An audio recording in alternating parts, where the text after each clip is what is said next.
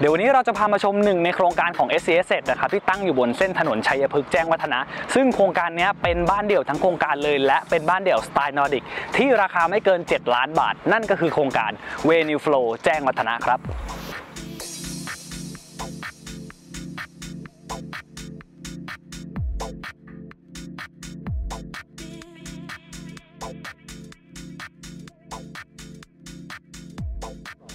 และตอนนี้เราอยู่กันที่หน้าบ้านของหลังที่เป็นซับเอก u s i v e กับทาง Home Real Estate นะครับต้องบอกว่าจริงๆหลังเนี้ยแปลนท้ายบ้านน่ะจะเป็นท้ายเริ่มแรกเลย แต่ว่าที่ดินเราจะใหญ่กว่าปกตินิดนึงนะครับ แล้วก็หลังเราเนี่ยจะเป็นหลังริมยูเทิร์นนะครับ สามารถกลับรถข้างบ้านได้ แล้วก็เราต่อเติมหลังคาโรงจอดรถไว้ให้เรียบร้อยแล้วนะครับ ส่วนภายในบ้านจะเป็นแบบไหนเดี๋ยวต้นพาไปดู เชิญครับ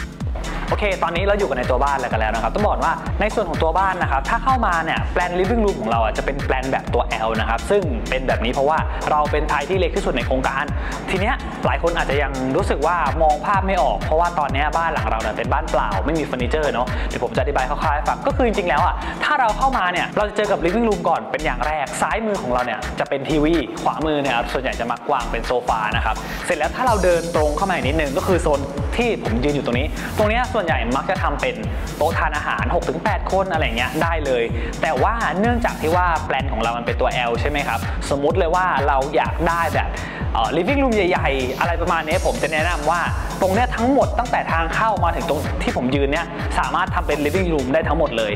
เราจะเอาโต๊ะทานอาหารนะครับมาวางไว้ตรงประมาณนี้ ก็คือโซนที่ถัดไปอีกนิดนึงก็จะเป็นครัวแล้วนะครับ ซึ่งหลายคนเนี่ยจะทำเป็นพวก partition กั้นตรงนี้ เพื่อให้อ่อกลิ่นอาหารมันไม่ตลบอวลเข้ามาในโซน living room นะครับซึ่งอย่างที่บอกไปว่าถ้าเราตั้ง โต๊ะอาหารอาหารประมาณตรงนี้ มันก็จะง่ายแก่การทำอาหารเนอะปรุงอาหารนู่นนี่นั่นทุกอย่างทำตรงนี้หมดเลย จริง ๆ แล้วครัวเนี่ยต้องบอกว่า layer ตรงนี้จะเป็น layer เดิมนะครับไม่ได้มีการ built-in ครัวอะไรแต่อย่างใดเลย แต่ว่าทางเจ้าของบ้านเก่าเนี่ยเขา built-in ไว้ให้เรียบร้อยแล้วถัดจากครัวไปนะครับอันนี้จะเป็นโซนซักล้างเนอะโดยส่วนใหญ่แล้วปกติแล้วเราก็แค่ต่อเติมหลังคาก็โอเคแล้วแหละ สามารถวางเครื่องซักผ้าได้ แล้วก็ตั้งเราวตักผ้าได้ก็โอเคแล้วทีนี้ถัดมานิดนึงก่อนที่เราจะขึ้นไปชั้น2เนี่ย ขวามือของผมเนี่ยจะเป็นห้องน้ำชั้น1นะครับแล้วก็ทางซ้ายมือใต้บันไดก็จะเป็นห้องเก็บของนะผมต้องบอกกันว่าที่เนี่ยห้องเก็บของค่อนข้างใหญ่นะไม่ใช่ตู้เล็ก ๆ ที่แบบขนาดแค่ประมาณเอวเราอันเนี้ยเป็นระดับเต็มตัวเราเลยนะครับแล้วก็เดี๋ยวผมพาไปดูว่าชั้น 2 หน้าตาประมาณไหนเชิญเลยครับ ในส่วนของชั้น2นะครับจะมีทั้งหมด 3 ห้องนอน 2 ห้องน้ำนะครับแล้วก็เดี๋ยวผมจะพาไปดูห้อง master กันก่อนแล้วกันเนาะโอเค อย่างที่เห็นเลยจริงๆ ห้อง master ถ้าถามความรู้สึกส่วนตัวนะครับก็รู้สึกว่ามันก็ไม่ได้ใหญ่มากขนาดนั้น แต่มันก็ไม่ได้เล็กมากนะเพราะว่าจริงๆ แล้วมันก็สามารถตั้งเตียง 6 ฟุตได้ สามารถวางเฟอร์นิเจอร์ได้ แล้วก็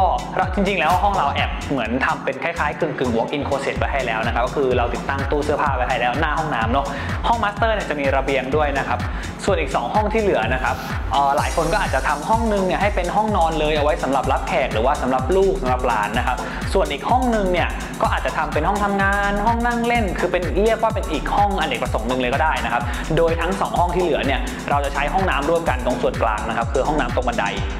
และนี่คือโดยรวมทั้งหมดนะครับของบ้านหลังนี้เดี๋ยวก่อนที่โตจะพาไปพูดถึงเรื่องของราคา หรือว่าดีเทลเกี่ยวกับบ้านเนี่ยเดี๋ยวเราไปดูภาพ insert กันอีกสักครั้งหนึ่งก่อนนะครับ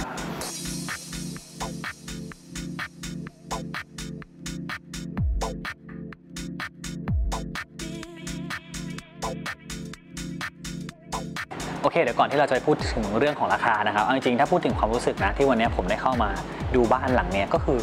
จริงๆตัวบ้านสวยมากนะ เป็นแบบสไตล์นอร์ดิกที่ปกติแล้วที่ผมเห็นนะไซส์เนี่ยสิบล้าน up นะ ถ้ายิ่งเข้าไปโซนผมพระราม 5 หรือว่าเข้าไปในเมืองนะสิบล้าน up แน่นอน แต่ที่เนี่ยราคาไม่ถึง 7 ล้านนะครับ แล้วก็ต้องบอกว่า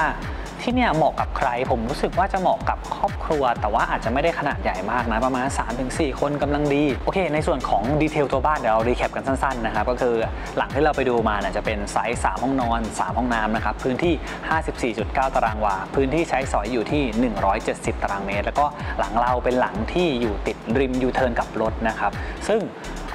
หลายคนอาจจะรู้สึกว่าถ้าแปลนบ้านประมาณเนี้ยราคาน่าจะแรง แต่พอมันมาอยู่ในเส้นชัยพฤกษ์แล้วก็หลังเนี้ยที่โฮมเราดูแลอยู่เป็นหลังที่ต้องบอกว่าเจ้าของบ้านอะ ไม่ได้ตั้งใจที่จะขายเอากำไรหรือว่าเอาอะไรเลยนะครับ ตอนนี้ราคาที่เขาประกาศขายอยู่ที่6ล้าน2แสนบาทเท่านั้นเองนะครับ ซึ่ง